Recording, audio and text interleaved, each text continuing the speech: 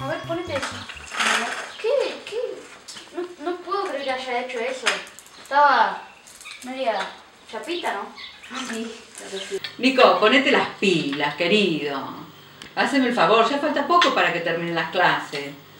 Y después si te vas a la universidad y tenés que seguir y seguir estudiando, ¿cómo vas a hacer si te llevas alguna materia? ¿Y la señora que no le dijo nada o...? No, no dijo nada. Me dijo que para la próxima no lo